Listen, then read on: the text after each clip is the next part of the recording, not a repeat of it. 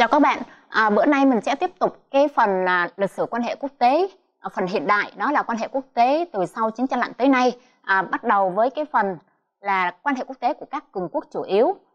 Thì à, chúng ta đều biết là trong lịch sử thực tiễn à, quan hệ quốc tế từ trước tới nay thì lúc nào gần như giai đoạn nào cũng có cái sự chi phối của các nước lớn. À, chúng ta có thể nhìn rõ nhất là cái thời kỳ chiến tranh lạnh, à, cái vòng xoáy mà xung đột giữa Liên Xô với Mỹ đã kéo tất cả các nước à, các nước gần như các, tất cả các nước còn lại vào cái hệ thống một cái cuộc chiến là hai phe bên này hoặc là bên kia một là Liên Xô hai là bên Mỹ. Thì sau chiến tranh lạnh mặc dù là không còn cái thời kỳ mà căng thẳng như thế nữa nhưng rõ ràng tình hình thế giới vẫn có cái sự chi phối của các nước lớn. À, chúng ta có thể biết là từ sau à, chiến tranh lạnh thì có một phần một giai đoạn được gọi là cái hệ thống quốc tế của mình có được gọi là đơn cực rất ngắn với cái cái sự đứng đầu của Mỹ. Sau đó cái giai đoạn hiện nay thì hệ thống quốc tế thì phần nhiều à, các cái chuyên gia cho rằng nó là hệ thống nhất siêu đa cường và đang định hình cái hệ thống gọi là đa cực. Thì dù là nhất siêu đa cường hay là đa cực chúng ta đều biết những cái cực ở đây đều là những cái nước lớn và nó sẽ tạo ra một cái cấu trúc quyền lực mà nó có khả năng chi phối tới tình hình khu vực và thế giới thì hiện nay các cái nước lớn điển hình mà chúng ta có thể xem xét đó là Mỹ, Nga, à, Trung Quốc, EU, Nhật Bản, Ấn Độ. Và trong cái bối cảnh Ấn Độ Dương Thái Bình Dương hiện nay thì mình có thể xem cái trong một cái cái cái một cái trung cường nữa đó là Australia trong cái cái bộ gọi là bộ tứ. Thì đầu tiên mình sẽ vào cái cặp quan hệ đầu tiên đó là quan hệ giữa Mỹ và Trung Quốc. Đây là cái mối quan hệ có lẽ là đang được quan tâm nhất hiện nay hai nền kinh tế lớn nhất thế giới, Mỹ số 1 và Trung Quốc số 2. Từ năm 2010 thì Trung Quốc đã vượt Nhật Bản để trở thành nền kinh tế lớn thứ hai thế giới và bắt đầu từ đây mối quan hệ giữa Mỹ và Trung Quốc có một cái cái bước mặt có một cái sự thay đổi mà cái phần cạnh tranh nó lấn át rất là nhiều thì tổng thể từ 1991 tới nay quan hệ giữa Mỹ và Trung Quốc hiện từ năm 1991 tới năm 2000 nó chịu cái sự chi phối của cái sự kiện Thiên An Môn năm 1989 thì cái giai đoạn này nó làm cho quan hệ hai nước xấu đi. Mỹ đã cấm vận kinh tế Trung Quốc và làm một loạt những cái hoạt động, những cái chính sách về mặt chính trị khác nữa. Và cái tính chất của cái mối quan hệ này lúc này là phòng ngừa lẫn nhau. Tuy nhiên thì ờ, cái xu hướng hợp tác giữa hai quốc gia đã bắt đầu xuất hiện từ khoảng năm 1996 sau năm 2000 tức là bước vào cái thời kỳ của tổng thống George Bush là năm 2001 trở đi thì là Mỹ và Trung Quốc có một cái giai đoạn chuyển đổi về cái tính chất mối quan hệ thì ngay từ cái thời kỳ tranh cử cho tới cái thời kỳ mới bắt đầu bước vào Nhà Trắng thì Tổng thống George Bush đã thay đổi cái quan điểm, cái tính chất đối với mối quan hệ với Trung Quốc là đổi sang Trung Quốc, coi Trung Quốc như là đối thủ cạnh tranh chiến lược thay vì là đối tác chiến lược cái thời kỳ của Tổng thống Bill Clinton. Thì đây là cái thời kỳ bước mặt là xem Trung Quốc là một đối thủ cạnh tranh chiến lược. Tuy nhiên cái sự kiện ngày 11 tháng 9 năm 2001 đã tạo ra một cái bước mặt khác, đó là làm cho Mỹ lúc này Mỹ cần phải tập trung lực lượng vào cái cuộc chiến chống khủng bố. Và Mỹ cần cái sự hợp tác của Trung Quốc ở một số cái vấn đề quốc tế liên quan tới cái cuộc chiến này. Cho nên là cái tình hình nó giảm đi cái căng thẳng nó giảm đi. Và mỹ đối với trung quốc lúc này là chuyển sang cái hướng gọi là đối thoại và hợp tác năm từ năm 2009 tới nay, tức là khi mà tổng thống Barack Obama bước vào nhà trắng, thì cái quan hệ của Mỹ và Trung Quốc bắt đầu lại có một cái giai đoạn khác nữa. Thời gian đầu thì là tổng thống Barack Obama cũng vẫn duy trì cái cái tính chất là đối thoại và hợp tác với Trung Quốc. Tuy nhiên sau 2010 tức là khi mà Trung Quốc đã trỗi dậy, có cái dấu hiệu rõ nhất đó là trở thành nền kinh tế lớn thứ hai thế giới và đưa ra một loạt những cái chính sách, có những cái hành động đặc biệt là những hành động trên biển đông à, thể hiện cái sức mạnh hàng hải của mình á thì mỹ bắt đầu chuyển sang cái cái cái cái một cái hình thái khác của mối quan hệ với trung quốc đó là cạnh tranh và hợp tác. Thì trong cái giai đoạn này nó vẫn còn khá mềm cái cạnh tranh vẫn khá mềm nhưng bước vào cái thời kỳ của tổng thống Donald Trump thì là chúng ta đều biết là hiện nay là cái tính cạnh tranh trong cái quan hệ giữa Mỹ và Trung Quốc là nó mạnh hơn hẳn cái mức hợp tác. Và cái điểm rõ nhất mà chúng ta có thể nhìn đó chính là cái cuộc cạnh ờ, cái chiến tranh thương mại Mỹ Trung mà đã kéo dài suốt từ năm 2018 tới nay. Và nó vẫn chưa có cái dấu hiệu kết thúc bởi vì là đang bị ờ, tạm dừng, chỉ là tạm dừng thôi.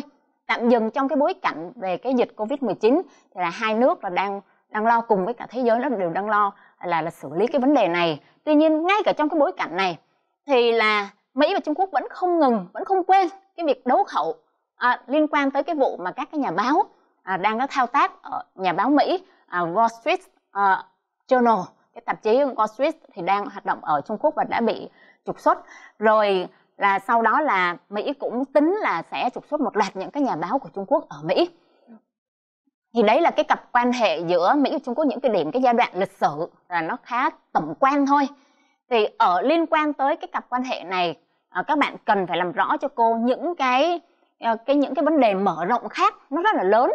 À, các bạn tìm hiểu cho cô là cái nguyên nhân nào dẫn tới cái cạnh tranh giữa Mỹ và Trung Quốc và những cái diễn biến mà nó thể hiện cái cạnh tranh giữa Mỹ và Trung Quốc như thế nào. Và đặc biệt là rất quan trọng đó là các bạn à, tìm hiểu cái tác động của cái cạnh tranh Mỹ Trung này tới quan hệ quốc tế nói chung và tới Việt Nam đặc biệt là tới Việt Nam như thế nào à, nó thể hiện ở những nào có thể mình nhìn thông qua một cái ờ, cái cái cái case study đó là cái cái chiến tranh thương mại Mỹ Trung sẽ như thế nào.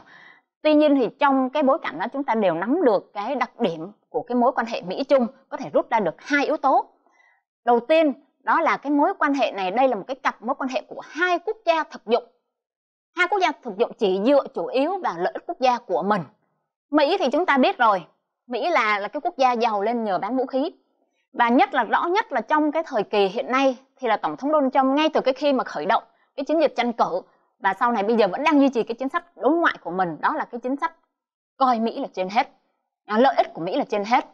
Còn Trung Quốc thì mình cũng biết à, trước đây à, chúng ta cũng từng nói qua rồi đó là cái cái cái từ cái thời kỳ mà Trung Quốc à, à, cải cách mở cửa năm 1978 thì cái câu nói rất nổi tiếng của Đặng Tiểu Bình đó là mèo trắng hay mèo đen mèo nào cũng được miễn là bắt được chuột. Có nghĩa là sao?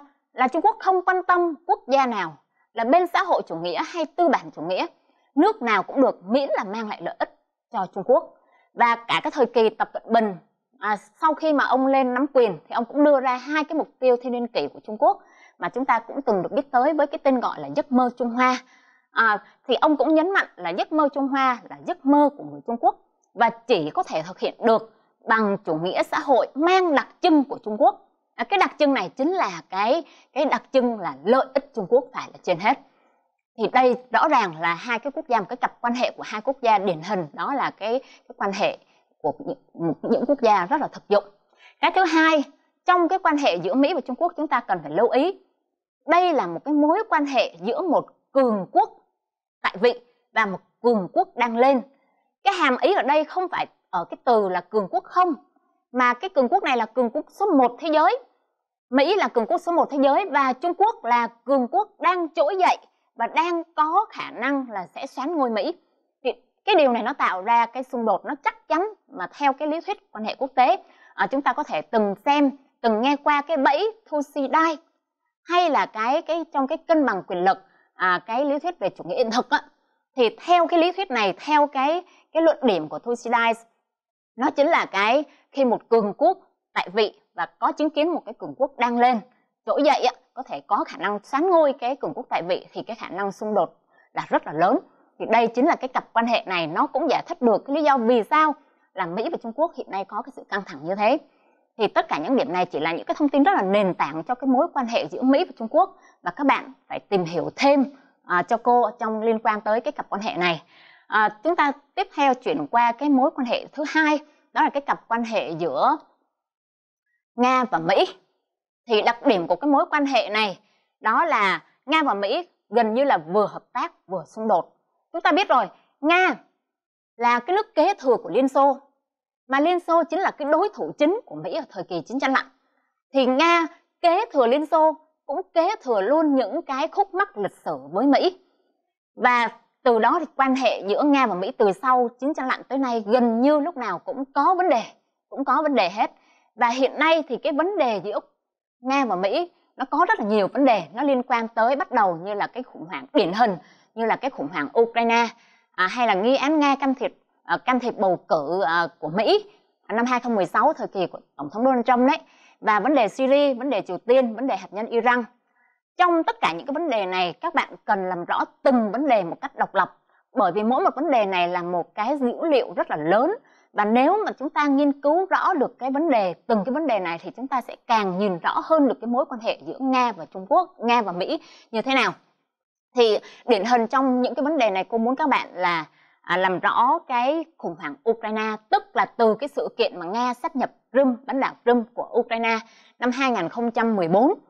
Thì cái sự kiện này vì sao cô muốn các bạn à, lưu ý vấn đề này? Vì cái này nó có cái tác động tới Việt Nam rất là lớn. À, chúng ta cứ tưởng ở một cái vấn đề nó xa xôi ở đâu đó à, không liên quan gì tới Việt Nam nhưng mà thật ra lại rất liên quan. À, nếu các bạn để ý sẽ thấy là cái sự kiện Nga sắp nhập Crimea năm 2014 thì một cái sự kiện liên quan tới Việt Nam cũng năm 2014 đó là cái sự kiện Trung Quốc hạ đặt giàn khoan Hải Dương HD 981 ở biển Đông à, là cái trên cái vùng biển à, vùng đặc quyền kinh tế và cái cái thềm lục địa của Việt Nam cũng năm 2014 và một cái một cái điểm nữa là vì từ cái sự kiện này mà Mỹ và phương Tây nói chung đã cấm vận đã trừng phạt kinh tế đối với Nga. Và nó tạo ra một cái bước ngoặt trong quan hệ nước lớn giữa Nga, Mỹ và Trung Quốc. Từ đây Trung Quốc chuyển sang thắt chặt hơn quan hệ với Nga chuyển sang thắt chặt hơn quan hệ với Trung Quốc. Và nó tạo ra một cái tình thế mà có nhiều người Việt Nam hơi lo sợ, hơi e ngại vì Nga cũng được xem là một cái cái đối tác rất là truyền thống của Việt Nam và Nga thắt chặt quan hệ với Trung Quốc. À, điển hình có thể thấy được là cũng năm trong trong năm 2014 thì là Nga và Trung Quốc đã có một cái thỏa thuận thương mại trị giá 400 tỷ đô à, rất là lớn ngay trong năm đó luôn. Và sau này à, cái một cái điển hình nữa là cái năm 2016 thì sau cái cái cái kết quả mà tòa trọng tài quốc tế đã tuyên bố cái, cái liên quan tới cái vụ kiện mà Philippines kiện Trung Quốc ra Biển Đông. À, Tổng thống Nga Putin thời điểm này có tuyên bố một cái câu đó là công khai ủng hộ cái sự không công nhận kết quả của cái tòa trọng tài quốc tế của Trung Quốc. Thì cái điểm này nó có ảnh hưởng rất là lớn. Mặc dù chúng ta vẫn biết rằng là cái này nó không thể hiện quan điểm. À, cô phải nhấn mạnh một điểm nha. Cái này nó không thể hiện quan điểm là Nga đứng về Trung Quốc trong cái tranh chấp lãnh thổ à, với Việt Nam. À, giữa Trung Quốc và Việt Nam không phải chuyện đó bởi vì sau đó là Nga có khẳng định lại cái chuyện này. Tuy nhiên rõ ràng cái giai đoạn này nó cũng tạo ra những cái dư chấn nhất định. Và cái quan hệ giữa Mỹ và Nga thì nó liên quan tới một loạt những cái vấn đề và từ cái khủng hoảng Ukraine đó từ cái vấn đề là Mỹ và các nước phương Tây trừng phạt kinh tế Nga như thế thì nó cũng tác động tới một loạt những cái vấn đề khác ví dụ như là cái vấn đề Syria, vấn đề Triều Tiên, vấn đề hạt nhân Iran. Thì vấn đề Syria là các bạn sẽ xem xem là từ cái thời kỳ mà cái cuộc chiến sống chống khủng bố IS đó mà Nga và Mỹ là đều là những cái bên trực tiếp tham gia vào. Thì là Nga là một bên, Mỹ là một bên. Trong khi Nga mặc dù chống IS nhưng mà ủng hộ cái chế độ của tổng thống Syria đó là tổng thống Bashar al-Assad nhưng Mỹ lại ủng hộ cái lực lượng nổi dậy à, muốn lật đổ cái cái chính quyền này và trong cái cuộc chiến chống khủng bố ở Syria thì nó lại liên quan tới rất nhiều một loạt các cái cường quốc khác nữa một loạt những cái nước khác nữa. Trong đó sau đó có rất là nhiều cái vấn đề. Ví dụ như là Thổ Nhĩ Kỳ. Cái câu chuyện Syria bây giờ vẫn còn đang là rất là phức tạp. Nó có thể là bị lấn át bởi cái tình hình về dịch Covid-19 một chút nhưng các bạn để ý là nó có rất là nhiều là bây giờ Thổ Nhĩ Kỳ từ cái ban đầu là đồng minh của Mỹ. À, vì Thổ Nhĩ Kỳ chính là một thành viên của NATO. À, nhưng sau đó thì cái gì Thổ Nhĩ Kỳ lại hướng về Nga trong cái cuộc chiến chống khủng bố ở Syria. Và cái vai trò của Nga là rất lớn trong cái vấn đề này. Rồi gần đây lại tình hình lại xoay chuyển. À, bây giờ lại Nga, Syria và Thổ Nhĩ Kỳ đang có có khả năng là có thể là có cái cái chiến tranh nóng à, đang rầm rầm rầm rầm à, Thổ Nhĩ Kỳ và quân đội Syria có cái sự hỗ trợ của Nga thì tất cả những cái điểm này trong một cái tổng thể một cái bức tranh à, các bạn nghiên cứu thêm chi tiết thêm để rõ hơn về cái mối quan hệ những cái vấn đề có ảnh hưởng tới cái mối quan hệ giữa nga và mỹ. À, chúng ta qua một cái quan hệ vậy thì nga mỹ như thế vậy thì nga chung sẽ như thế nào? À, như cô đã nói đó là từ cái sự kiện à, sáp nhập Rim thì nga có cái sự thắt chặt hơn quan hệ với trung quốc. Thì có nhiều người cho rằng phải chăng là nga sẽ hướng về trung quốc trong rất là nhiều vấn đề quốc tế nhưng thực tế về đặc điểm của mối quan hệ này không phải như thế. Quan hệ giữa nga và và trung quốc có thể gọi là gần gũi nhưng chắc chắn không phải là đồng minh. Hợp tác hợp tác bây giờ nó chỉ mang cái tính chiến thuật thôi. Còn cái cạnh tranh nó mới là cái chiến lược tức là về lâu dài về bản chất nó là cạnh tranh. Còn cái hợp tác hiện nay là nó mang cái tính thời điểm.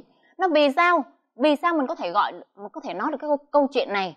Bởi vì nga và trung quốc cũng có cái khúc mắc lịch sử nga và liên xô có cái chiến tranh biên giới năm 1969 và có những cái cái chia rẽ ở trong cái thời kỳ chiến tranh lạnh mặc dù cả liên xô và trung quốc đều trong hệ thống à, xã hội chủ nghĩa.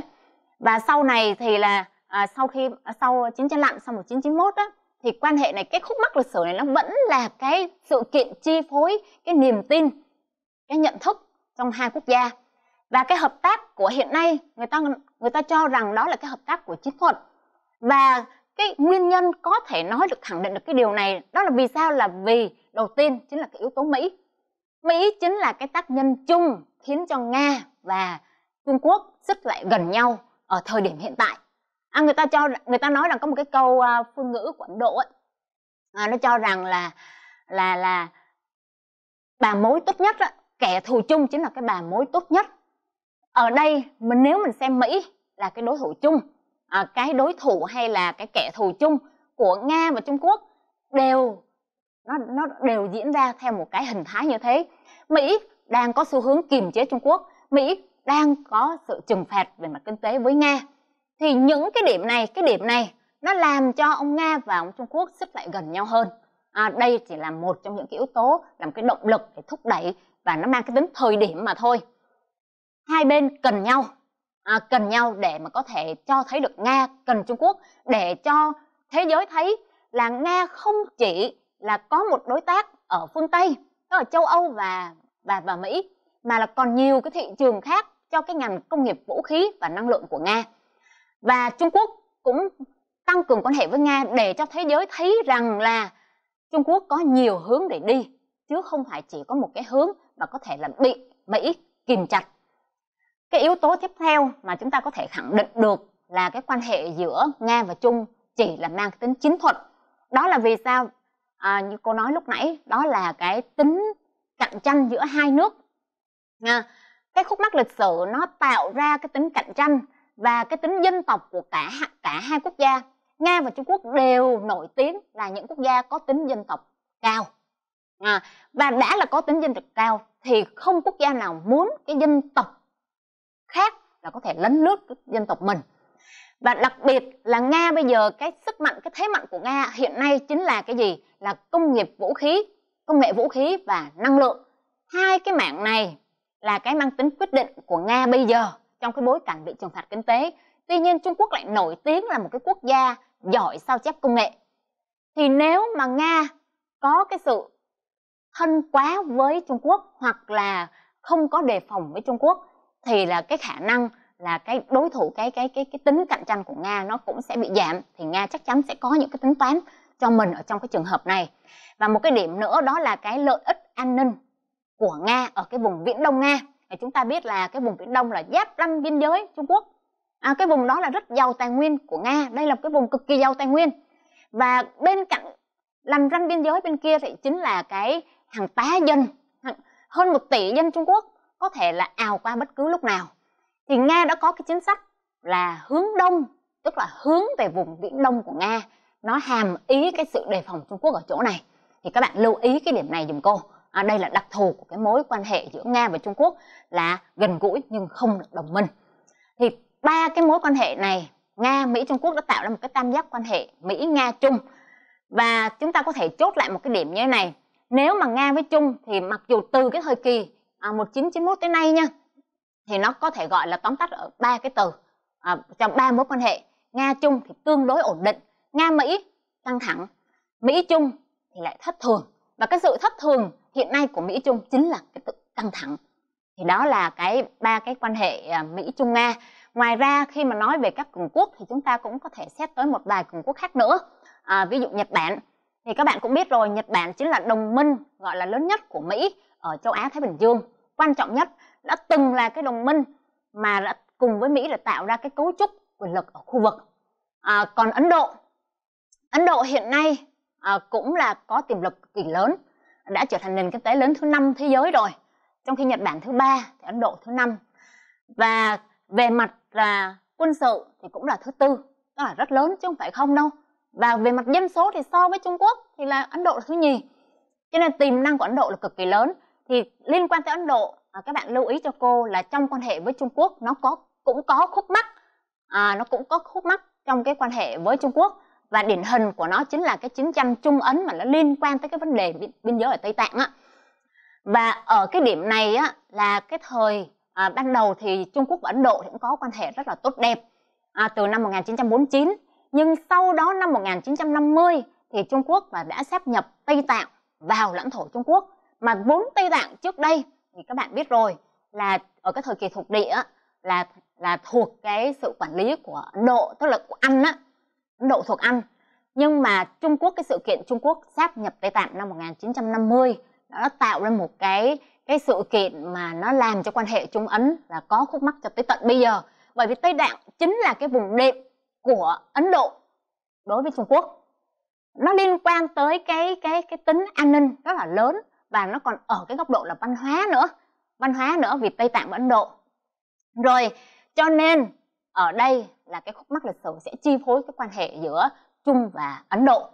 Một cái đặc điểm nữa là cái cạnh tranh giữa Trung và Ấn à, cái này cũng là cái động lực để có thể là ảnh hưởng tới cái mối quan hệ nói chung giữa Ấn Độ và Trung Quốc. À, chúng ta đều biết rồi là khi Trung Quốc trỗi dậy đã đưa ra một loạt những cái chính sách và nổi bật nhất chính là cái sáng kiến vành đai và con đường. Thì cái vành đai và con đường hiện nay nó cực kỳ thể hiện rất là rõ là ở cái khu vực Ấn Độ Dương. Cái khu vực này lại là cái khu vực được xem là cái khu vực ao nhà của Ấn Độ. À, bây giờ hình ảnh của Trung Quốc ở Pakistan ở Bangladesh ở Myanmar à, Sri Lanka rồi là là Djibouti là đã có hết rồi. Nó gần như là muốn kìm tỏa Ấn Độ ở trong cái vùng chỉ là tiểu Á thôi mà không cho Ấn Độ vươn ra bên ngoài. Thì chính vì cái cái hình ảnh cái bóng dáng của của Trung Quốc ở cái khu vực của mình như thế thì Ấn Độ cũng có một cái chính sách đó là hướng đông. À, cũng có một cái chính sách này. Thì đặc thù trong cái quan hệ Trung Ấn là các bạn cũng để ý cho cô là cái tính này. Rồi ngoài ra thì chúng ta có à, liên quan tới cường quốc chúng ta cần phải xem xét một đối tượng nữa đó là EU thì EU các bạn biết rồi EU nói riêng và các nước châu Âu nói chung thì là đồng minh truyền thống, gọi là thân nhất của Mỹ. Thì trước đây hầu như EU và Mỹ là cùng một chiều hướng. Tuy nhiên dạo gần đây, nhất là thời kỳ mà tổng thống Donald Trump bước vào Nhà Trắng, thì là mối quan hệ giữa Mỹ và châu Âu nói chung là đã có rất nhiều vấn đề, có sự chia rẽ. Nội bộ EU cũng có sự chia rẽ rồi, bởi vì cái sự khác biệt chân lật về mặt kinh tế và sức mạnh quân sự. Và nó có ảnh hưởng bởi cái sự kiện Brexit, tức là Anh là đã thoát ly khỏi EU rồi sau đó là cái cái chính sách mà nước Mỹ là trên hết tức là bất chấp đồng minh luôn. Bây giờ chỉ có lợi ích của Mỹ thôi. Đặc biệt là khi mà tổng thống Donald Trump bước vào Nhà Trắng ông đã rút Mỹ ra khỏi một loạt những cái thể chế quốc tế có dấu ấn và vai trò của EU trong đó có thể kể tới như là cái thỏa thuận hạt nhân Iran. À, hay người ta gọi là cái thỏa thuận P5 cộng một đó.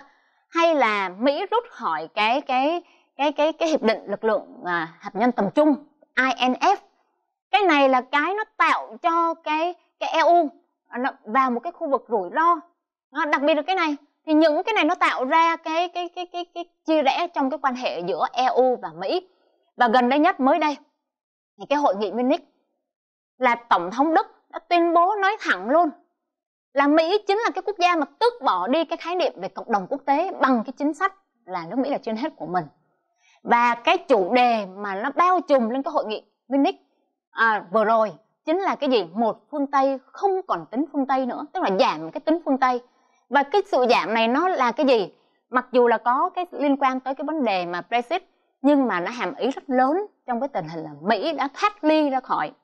Tức là không thể hiện cái vai trò của mình nữa và không quan tâm tới cái mối quan hệ đồng minh truyền thống với EU nữa. Thì cái này là chúng ta cũng cần lưu ý.